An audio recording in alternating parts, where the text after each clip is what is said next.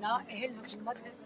You turn وزیر اعظم جو کہ خود اپنی فارملی پالیسی کو اناؤنس کرتے ہیں کہ میں یو ٹرن پالیسیز اور یو ٹرن وعدے اور یو ٹرن اعلانات کرتا ہوں اور اس کے اوپر یو ٹرن لینا کوئی بھی غلطی نہیں ہے۔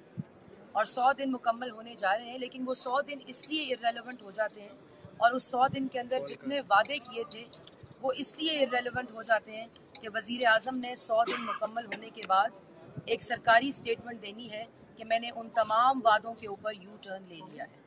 اور ویسے بھی بائی ڈیزائن سو دن کے اندر جس طرح کا ماحول، چور چور کے نعرے اور اسی طرح دوسروں کی پگڑیاں اچھالنا جس کے اندر مہارت رکھتی ہے، موجودہ حکومت کیونکہ پانچ سال کنٹینر کے اوپر چڑھ کر نہ کسی پولیس والے کی عزت محفوظ تھی، نہ اس وقت کے وزیر اعظم کی عزت محفوظ تھی، نہ ان لوگوں کی عزت محفوظ تھی جو اپنی ڈیوٹیز کر رہے تھے۔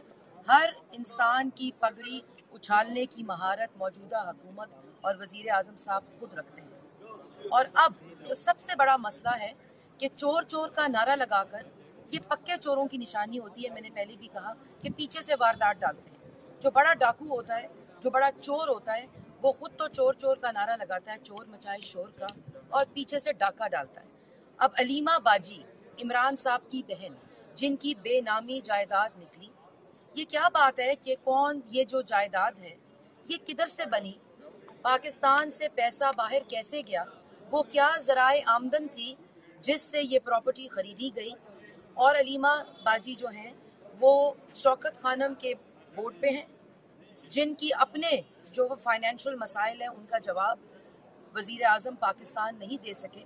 اور جو زکوٰۃ کے پیسے ہیں، جس میں ایک ایک پاکستانی کنٹریبیوٹ کرتا ہے، اور پھر نمل یونیورسٹی کے جو فائنینسز ہیں، اس میں خرد برد کی نشاندہی کی گئی ہے۔